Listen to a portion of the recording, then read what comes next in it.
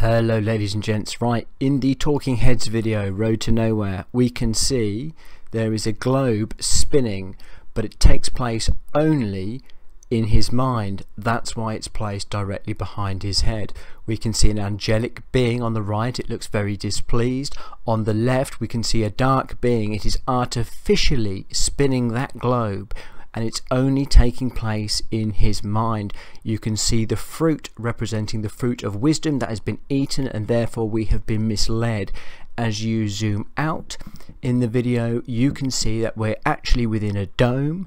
You can see the fish darting across the heavens indicating that they are in fact the waters. What we were perceiving as the blue sky is the fluid above us and the idea that it's a spinning globe can only exist in the mind as shown in the video.